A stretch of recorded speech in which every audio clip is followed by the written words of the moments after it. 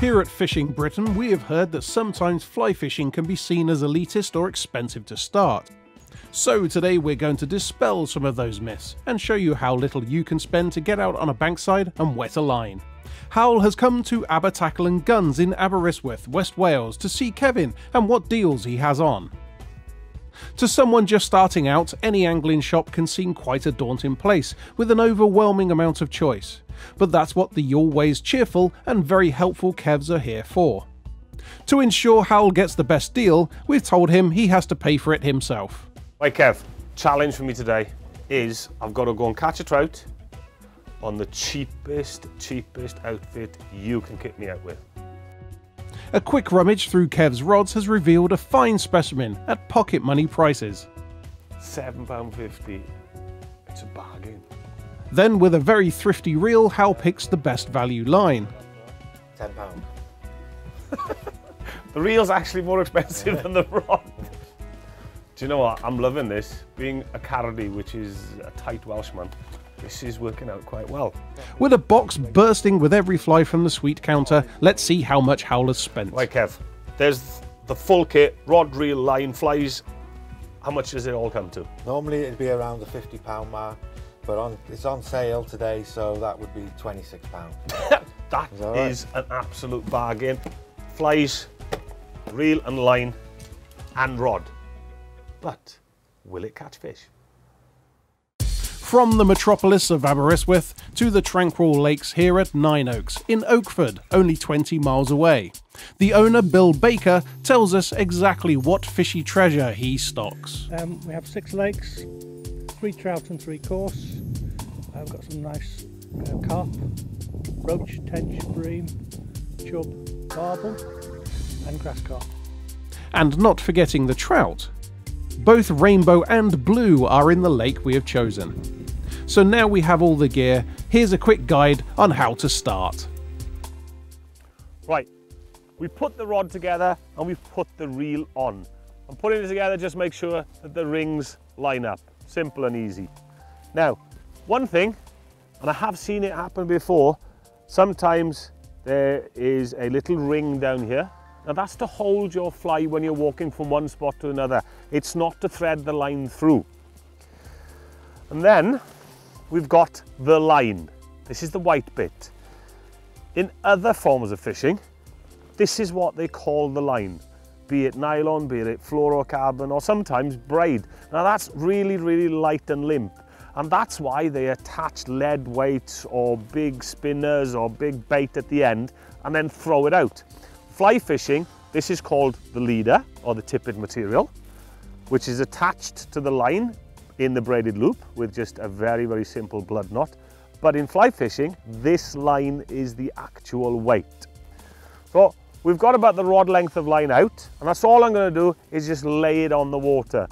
And this is the hardest part about fly fishing is that you've got to get a basic cast right before you go out fishing. Before you even start casting, protect the eyes. I'm gonna use the water tension just to drag the line up the rings then lift it up so my hand is virtually opposite my ear and tap it forward. Here's a little secret for you, and this is how I teach kids. I go, pick up the phone. And people don't pick up the phone slowly, don't they? They go, hello. And this is it. You go, hello, push it back. There. Don't be in too much of a hurry to lift it off. If you lift it off too quickly, what it does, it creates a big disturbance. That scares all the fish away. So we lift slow. Pick that phone up and then push it out there. And when you can do that with ease and it lands gently, you're now ready to go fishing.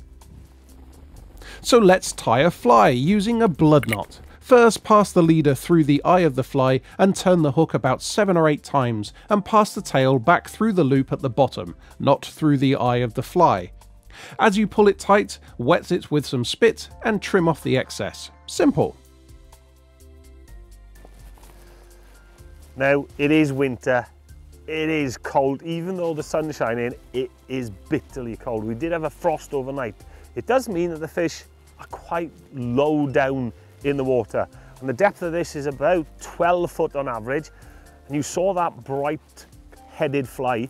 Well, that bead at the front is tungsten, so it's very, very heavy. What you have to do in the winter is fish slow and fish deep.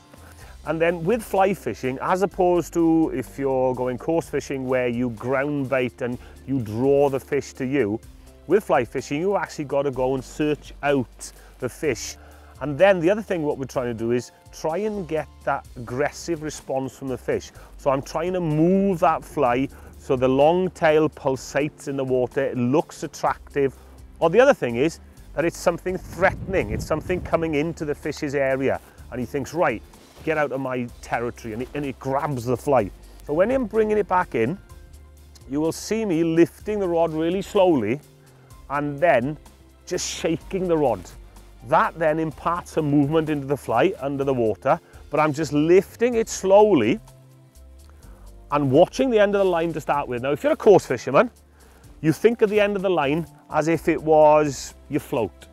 Now, if that moves in the opposite direction, then obviously a fish is taken. You've got to tighten into him. And then you lift until you can see the fly coming up from the depths and I can just see that red bead. There's nothing behind it. So if there's nothing behind it, then you can roll cast it and then cast back out into the water. Even though Hywel is quite upset about having to spend £26 on all the gear and £12 for 4 hours fishing, it's still a very cheap way to spend a day. Bill has kindly informed us that he actually hires gear at the fishery for £5 a day. Oops, sorry Hal. I'm sure Kev would do your part exchange on something. Just catching a fish would be nice to prove that it's not always about the expensive gear, but with the weather against us and the temperature and all the other excess. Oh, wait!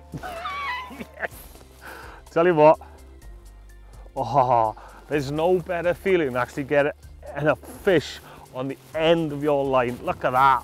Come on, get in that net. That's our boy. We had faith. Oh. Never doubted you for a second.